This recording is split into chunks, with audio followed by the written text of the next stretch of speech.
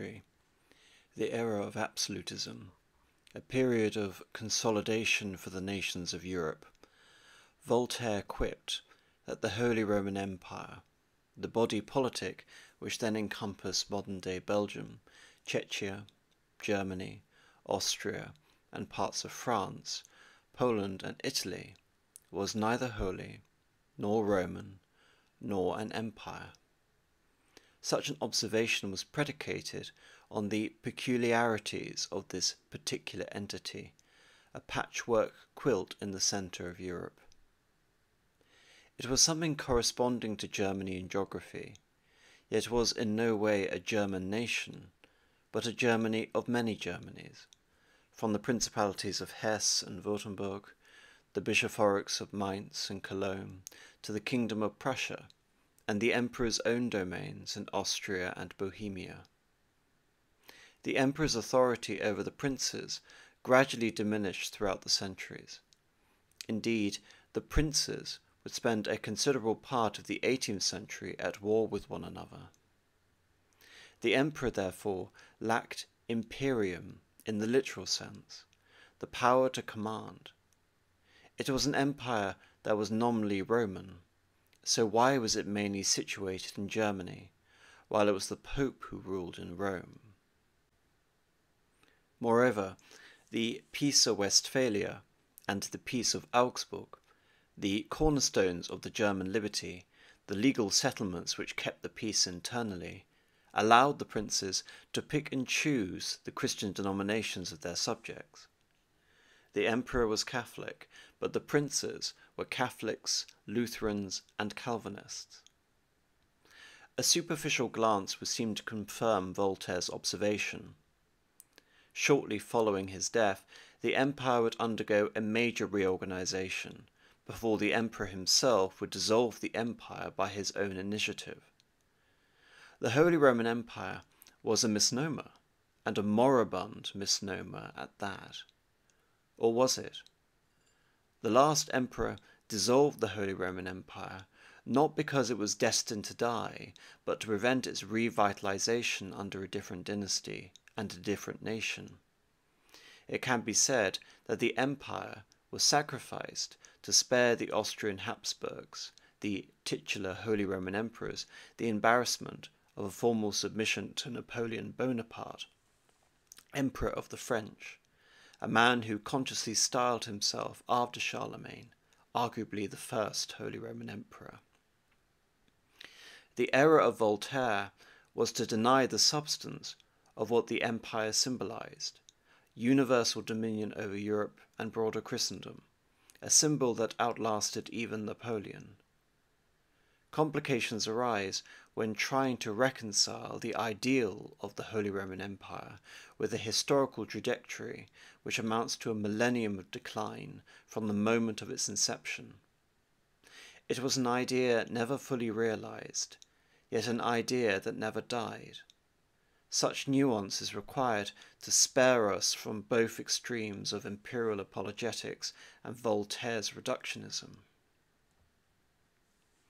In Wagner's Rheingold, the introduction to his grand operatic saga, The Ring of the Nibelungen, Wotan contracts the giants Fasolt and Fafner to build for him Valhalla, a heavenly palace, a fitting seat for the king of the gods. But he must pay a high price. The giants kidnap the goddess Freya, and with her the source of the god's perpetual youth. Meanwhile, a certain Alberich has constructed a talisman, a ring of terrible power, which he uses to enslave the race of the Nibelungen to mine precious metals. Wotan and his accomplice, the god Loge, trick Alberich, forcing him to offer his hoard of treasures to the giants as payment. Reluctantly, Wotan is forced to surrender Alberich's ring to the giants as well. With such a weapon beyond his reach, the king of the gods has sown the seeds of his own destruction and that of his race in the foundations of his very palace. His commitment to Fafner, etched forever on his spear, a source of Wotan's power and the instrument which most constrains him. Valhalla is constructed on a contradiction in that it both glorifies and ultimately condemns.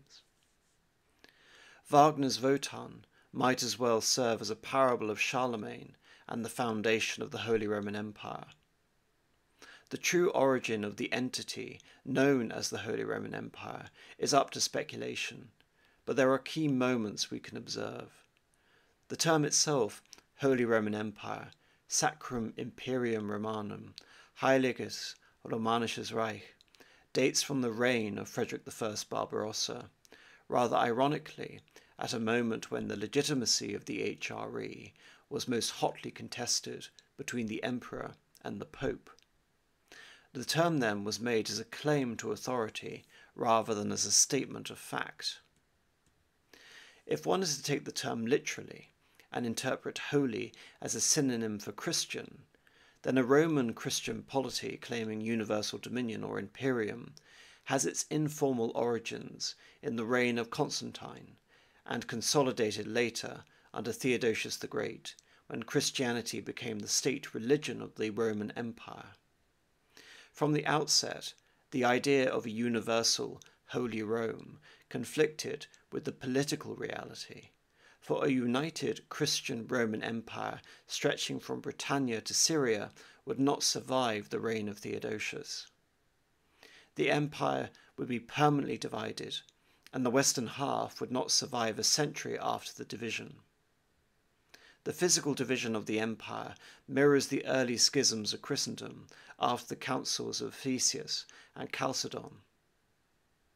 For the first time, Rome and the universally acknowledged primus inter pares of the Christian prelates, the Bishop of Rome, the Pope, lay outside the direct jurisdiction of the Roman Emperor, residing in Constantinople. Belisarius's conquests would see Italy restored to the empire, but such success would prove fleeting, as within two centuries of Justinian's imperial restoration, the Muslim Caliphate had reached the walls of Constantinople itself. The empire seemed on the brink of extinction. By the 8th century, the emperor and the pope were linked only by a thin strip of land connecting the city of Rome to the port and formal western imperial capital of Ravenna the Exarchate of Ravenna.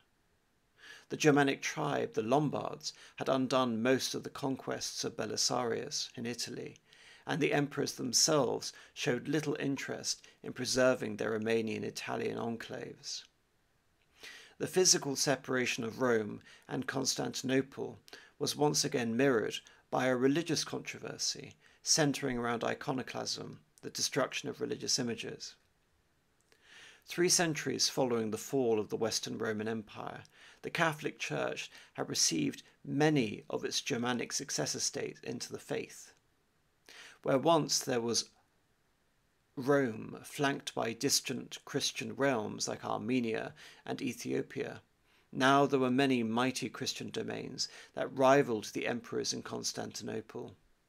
Chief among them was the kingdom of the Franks, which, after having defeated an Islamic invasion from Spain, established a presence in northern Italy. The Lombards destroyed the Exarchate of Ravenna, only in turn to be defeated by the Franks, who recognized the Pope for the first time as a temporal monarch in his own right, with a domain corresponding to that of the old Exarchate. Charlemagne, upon becoming king of the Franks, would reconfirm this donation the donated lands, the Papal States, would last until the unification of Italy, and even today exist as Vatican City. Roman emperors had assumed power in a variety of ways. The first emperor's legal authority was nominally derived from the Senate, though combined the prestige associated with the lineage of the deified Julius Caesar and Venus Genetrix. While there are Roman dynasties, primogeniture was never established. Indeed, to be born to the purple Porphyrogenitos during an emperor's reign was preferable to primogeniture. Succession via adoption was far more common, though peaceful succession would give way to acclamation by the army, barracks emperors, many men of any social rank who assumed power through military fiat. With the reforms of Diocletian, emperors would assign imperial colleagues to rule over parts of the empire. Under the Tetrarchy, there were two senior emperors or Augustuses and two junior emperors or Caesars, which ultimately came to represent a Western and an Eastern emperor, and the practice of assigning co emperors in Byzantium.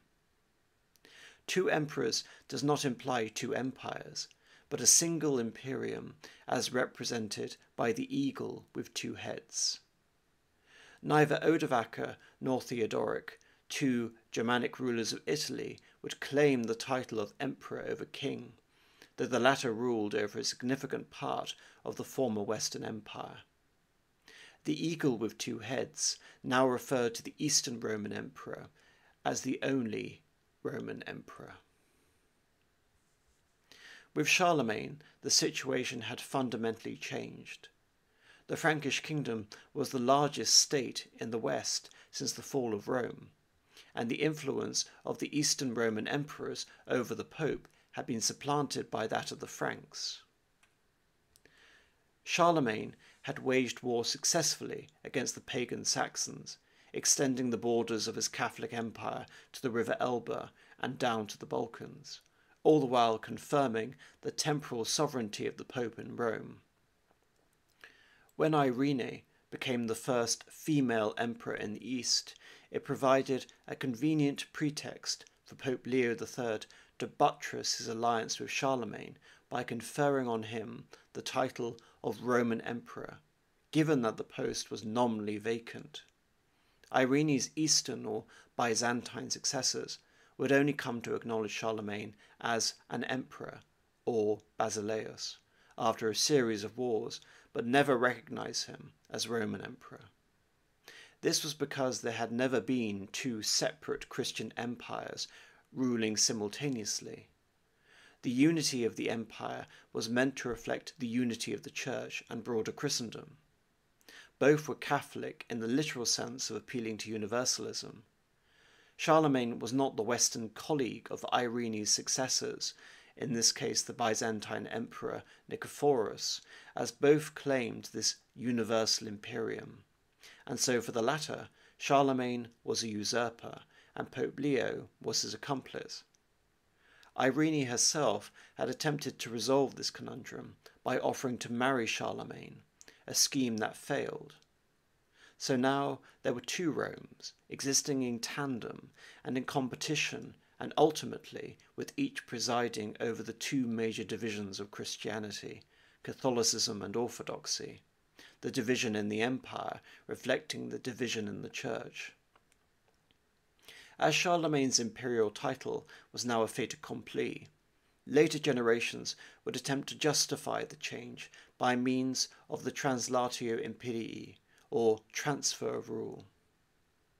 As the empire was meant to be universal, so too as a reflection of the divine presence and authority on earth, the empire was meant to be eternal.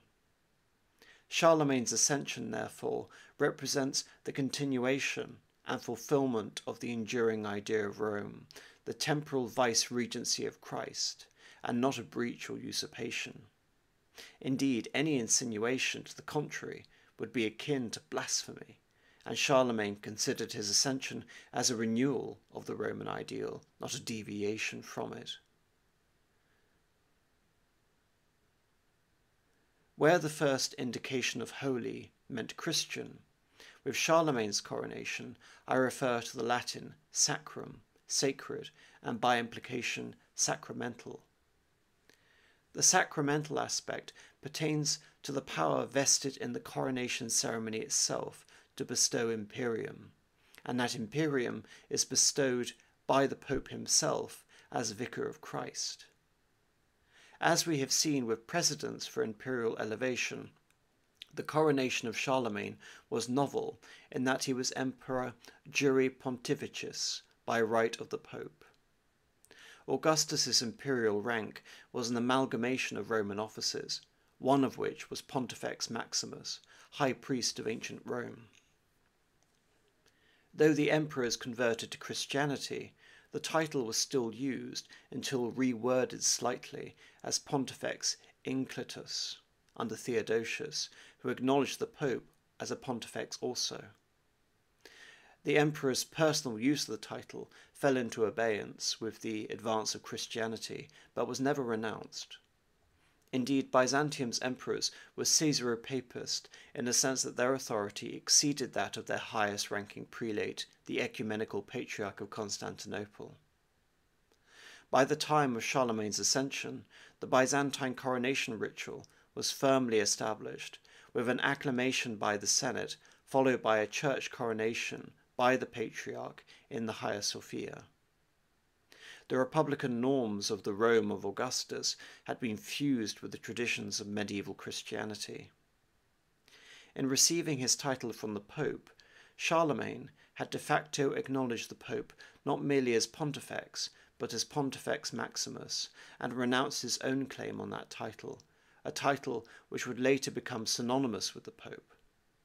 Indeed, chroniclers such as Einhard describe Charlemagne's great reluctance to partake of the coronation, aware perhaps that if a pope can make an emperor, he can also unmake an emperor.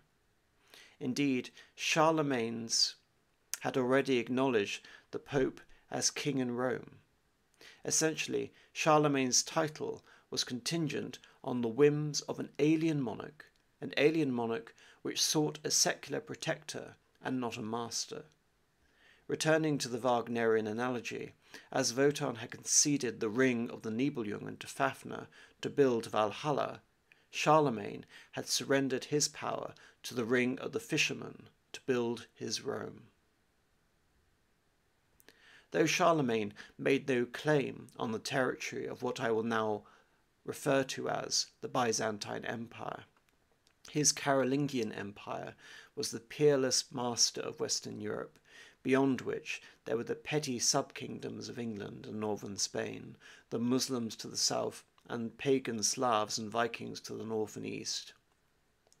Unfortunately for the Carolingians, they were doomed by the same disastrous policy of divided inheritance which had doomed their Frankish predecessors, the Merovingians. Charlemagne's dynasty would survive him by a single generation, save for a momentary restoration in the, 1880, in the 880s. Hence, Charlemagne's empire was a fleeting moment, yet a significant precedent in the history of the Holy Roman ideal. The crowned emperors were limited to Italy, and from the 920s began an interregnum from which it seemed unlikely that a successor to Charlemagne would ever emerge. The partition of the empire saw the creation of the first recognizable states of modern Europe France, Germany, and Italy, together with Burgundy. It was from Germany that a king would arise to reclaim the empire, Otto the Great, son of King Henry the Fowler.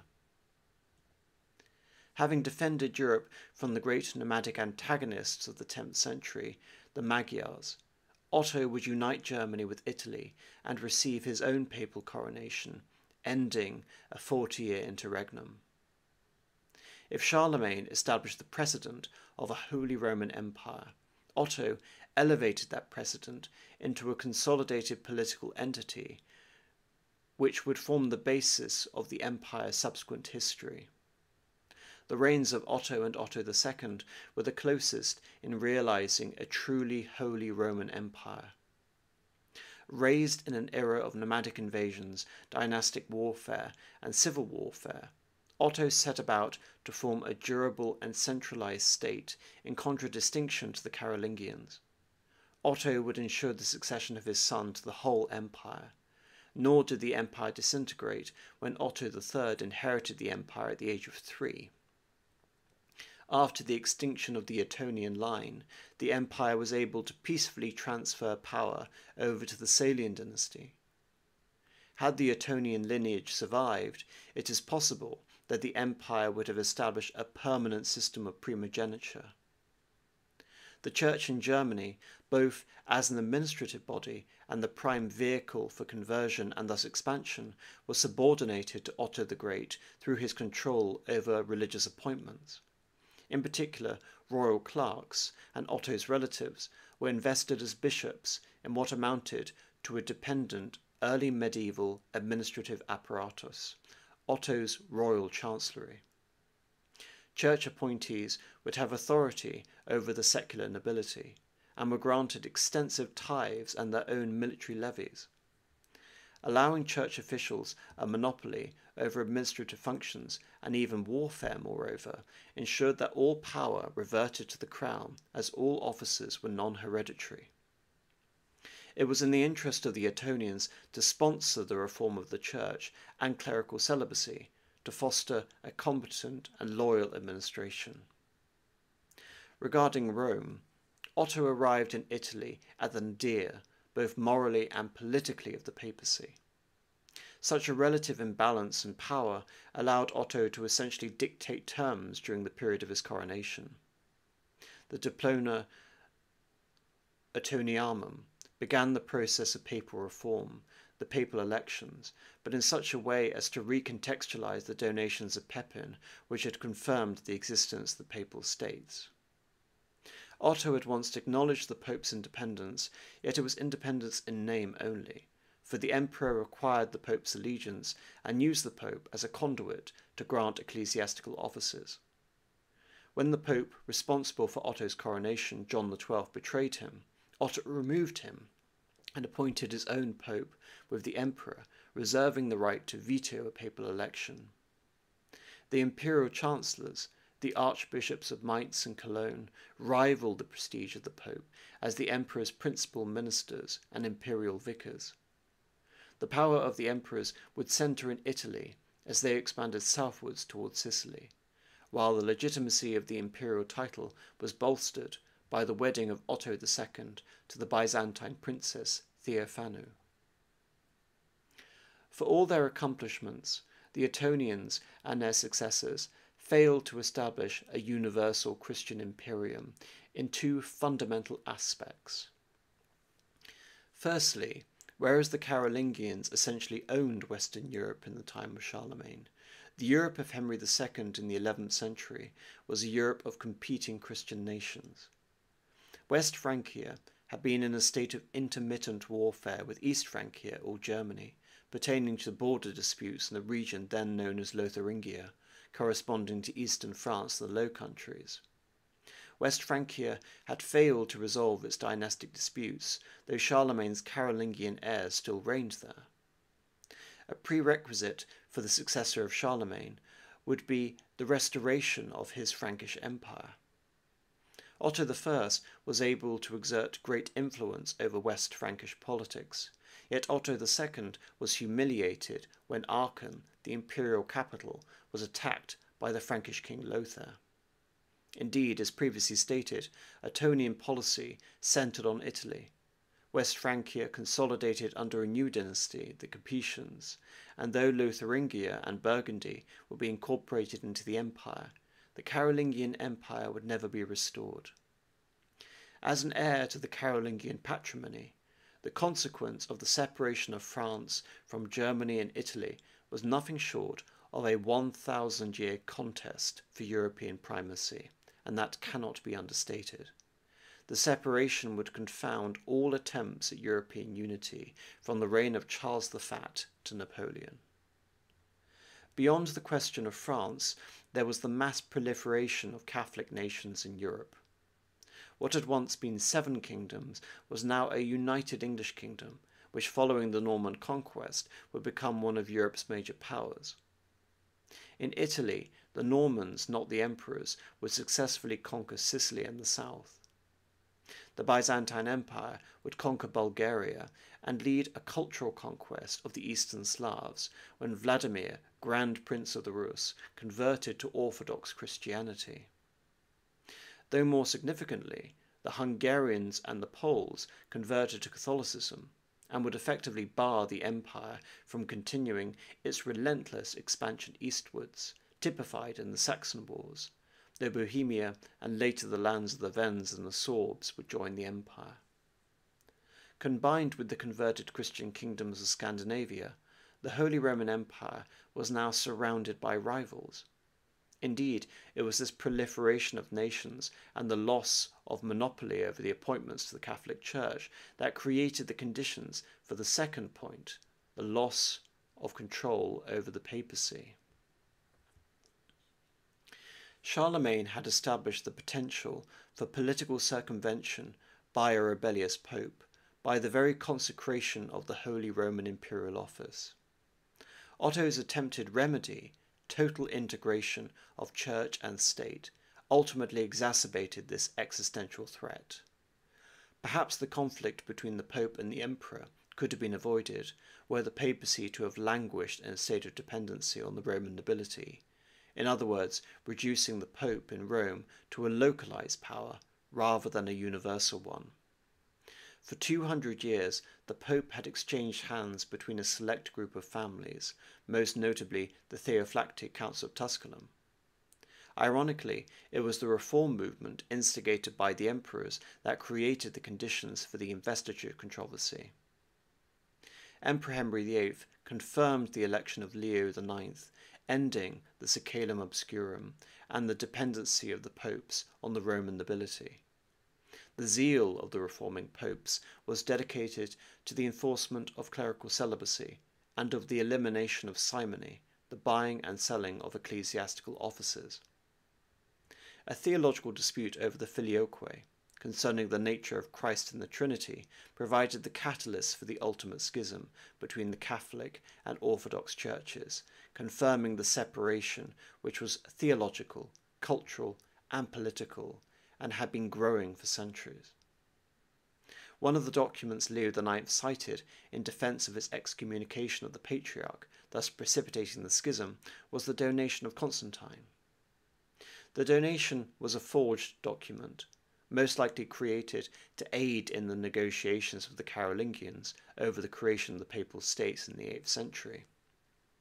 It refers to various privileges granted by the Emperor Constantine to Pope Sylvester following the Edict of Milan, which began the toleration of Christians. Indeed, Pope Sylvester is noted for his various miracles and his slaying of dragons. In it, Constantine confirms the spiritual primacy of the Pope over the Pentarchy, the five major Christian bishoprics. Such primacy conferred upon the Pope the authority to override the ecumenical patriarch. Yet the donation was as directed against the Holy Roman Emperor as it was against the Patriarch. The donation confirmed on the papacy the imperial regalia and temporal authority in the western half of the empire, or at least the territories in the west, or in Italy at least, from the Pope's seat in Rome.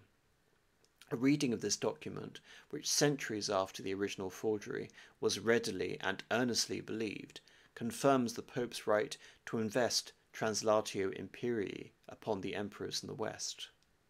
Yet contingent on the principle of jure pontificis, it would be used against the diploma Ottonianum and its attempts at subordinate, subordinating a nominally independent papacy to the emperor's allegiance.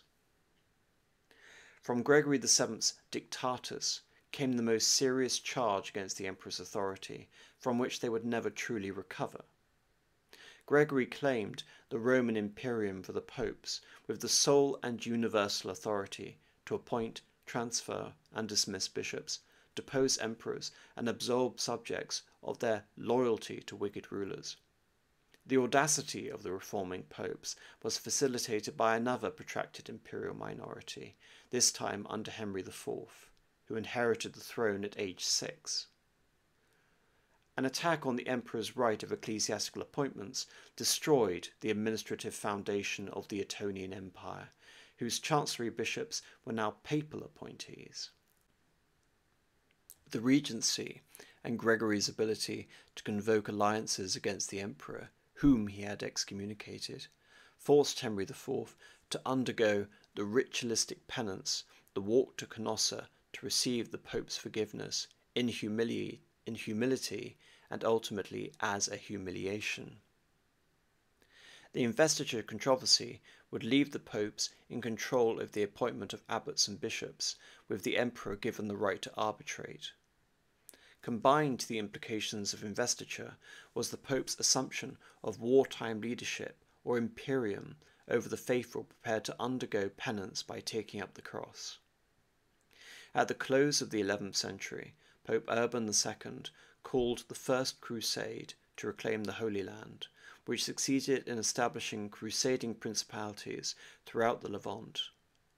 The popes were now intimately involved in directing the global defence and indeed expansion of Christendom. By the time we arrive at the conflict of the Guelphs and the Ghibellines, the partisans of the Pope and the Hohenstaufen emperors who followed on from the Salian emperors, the battle lines, the competing notions of universalism were already well established. What threats Henry IV faced from his vassals increased exponentially under Frederick Barbarossa in his war against Henry the Lion, desperately attempting to preserve an increasingly feudalistic empire, while, by that same token, the cities of Italy revolted against and successfully defied imperial authority in the Lombard League. Barbarossa's attempt at harnessing Christendom's crusading spirit under the emperor's direction ended disastrously and anticlimactically at the Saleph River. Frederick II Hohenstaufen would lead the imperial contest again, this time from Palermo. Despite presiding over the most centralized state in Europe, dare I say, modern state in Europe, against a papacy that referred to him as the Antichrist, Frederick II would fail in his attempt to bring imperial rule to Italy. His dynasty would not only fail, but be exterminated. His grandson Conradin was the victim of regicide. The Hohenstaufen lands in Swabia underwent an aggressive process of dissolution, leaving the region as one of the most decentralized in Europe. The 13th century began as a contest between two de facto Holy Roman Empires, the papacy, and the imperial house of Hohenstaufen. By the 14th century, both powers were in ruins. Perhaps the greatest irony of all was in the zeal of the popes to defeat the Hohenstaufens. They fell victim to an accidental translatio imperii. The Capetian dynasty of France were allies of the papacy. Under papal direction, the Capetian house of Anjou conquered Sicily, and increasingly writs of excommunication coincided with the demands of French foreign policy. The papacy would lose its independence, and even the city of Rome, as puppets in Avignon, Emperor's de facto emperor, Philip IV of France, presiding over the papacy's capture. Thus began the empire's long interregnum and the papacy's Babylonian captivity. Can we say that this moment the empire lost all pretension to being holy, Roman, or an empire? The 14th and 15th centuries were a struggle internally for the empire, a contest between rival dynasties. And indeed, this was over a politically defined system, a legalized anarchy. Nevertheless, emperors were crowned. Indeed, under Emperor Sigismund, the Avignon papacy and as many as two other rival papacies in Rome and Pisa were reconciled and returned to Rome with the election of a single pope, Martin V, ending the Western Schism. Following the death of Sigismund, the fortunes of the House of Habsburg would radically redefine the empire's prospects. Under Charles V, the Holy Roman Emperor, ruled over domains that eclipsed Charlemagne and had the potential to unite Christendom once more, with the Protestant Revolution providing the impetus for a general reformation of the Church under the Emperor's direction. The Catholic reform movement was instead led by the papacy the emperor was militarily defeated by the Protestants, and despite all the wealth of the New World being brought to bear, a century of conflict would leave the emperors reigning over a divided empire, both politically and religiously, thanks to the Peace of Augsburg and the Peace of Westphalia. The House of Habsburg would to continue its decline throughout the 18th century, to the point of having to share authority in Germany with the Protestant Calvinist Kingdom of Prussia what is called German dualism. Towards the end of the 15th century, the Emperor Maximilian had led a process known as Reichsreform.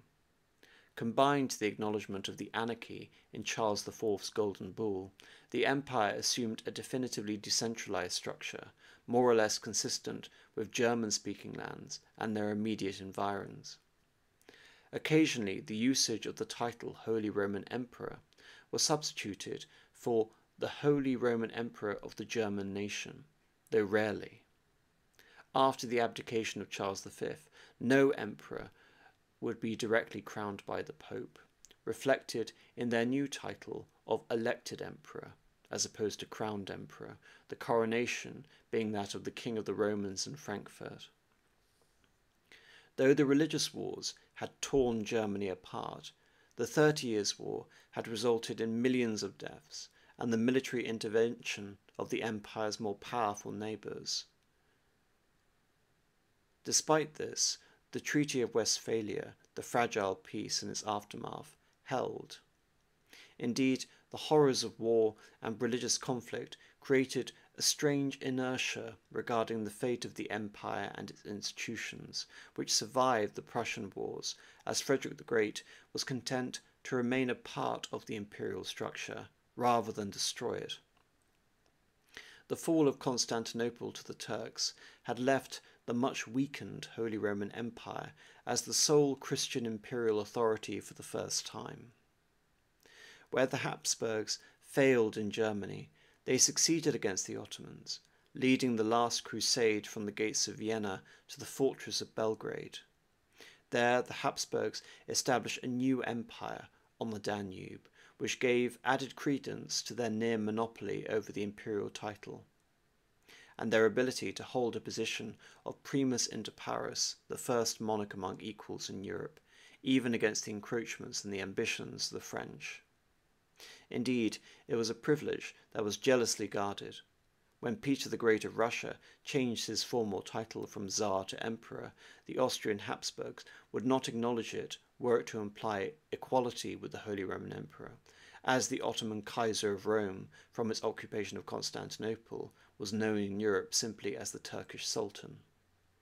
The impact of the empire's end, coinciding with the advance of the French Revolution, produced a similar psychological effect to that of the original coronation of Charlemagne and the ramifications for broader Christendom. Napoleon was Alexander cutting through the Gordian knot, or Siegfried breaking Wotan's spear, and with it the ancient and even contradictory set of laws and obligations that had constrained Wotan's will to the point of paralysis if one needed a perfect analogy for the end of the empire. Except Napoleon conquered and then lost Europe in a single decade, despite all of his Carolingian and Roman pretensions. There was no glorious Bonaparte esque translatio imperii. Napoleon was a false Charlemagne. With the end of the Holy Roman Empire, the translatio imperii, in a very informal and much diminished sense, was conferred on the Habsburgs. Europe's Catholic rather than Roman emperors. The symbolic currency of the Habsburg emperors would wane, a broader indictment on the relative decline of Austria and then Austria Hungary. Perhaps the last dramatic act in the imperial papal saga was Emperor Franz Josef's use of the jus exclusivae, or veto, against the election of Cardinal Mariano Rampolla as Pope in the conflict of 19, in the conclave of 1903. The First World War was responsible for dethroning the last Catholic emperor, the last Orthodox emperor, and by a novel coincidence, the last Muslim caliph. Throughout the medieval era, up until the 16th century, a certain eschatology was predicated around the four kingdoms of Daniel. The fourth kingdom was the Holy Roman Empire. With the fall of the Holy Roman Empire and its echo in the Empire of Austria was supposed to herald the end of the world and the coming of Christ. It is important to consider whether the failure of the eternal empire, the ultimate confounding of the Translatio Imperii, the fall of the Fourth Empire, and with it the concurrent triumphs of secularism and socialism, marks the final transition from Christianity to post Christianity in Europe. an additional note to viewers of the channel. I understand that my output has been relatively sporadic recently, but I'd like to assure you that there will now be a video or a stream with guests every Friday from now on at 9 o'clock. Sometimes the time will vary. Thank you very much for listening.